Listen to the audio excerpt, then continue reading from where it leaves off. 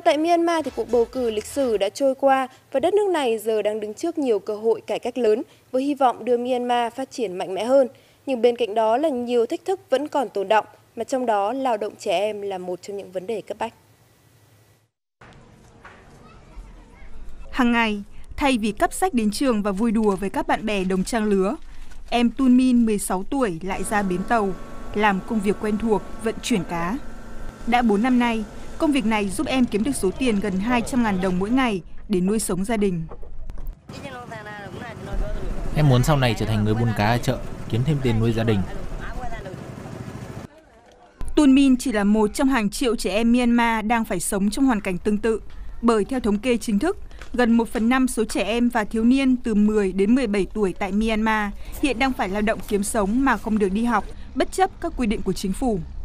Nhiều ý kiến trong và ngoài Myanmar đều khẳng định tầm quan trọng của việc giải quyết tình trạng này. Phải giải quyết vấn đề này thì chúng tôi mới có thể phát triển, bởi sau này các em sẽ là tương lai của đất nước. Đó là một vấn đề ưu tiên và chính quyền phải có các giải pháp tích cực, tránh những tình trạng như là lao động ngầm xảy ra. Thế nhưng, sự phổ biến của lao động trẻ em và sự thiếu hiệu quả của các luật lệ hiện hành vẫn đang tiếp tục là một rào cản lớn và sẽ phải mất khá nhiều thời gian nữa để những em nhỏ như Tumin có thể quay trở lại trường học, thay vì phải vất vả lo toan cuộc sống mưu sinh hàng ngày.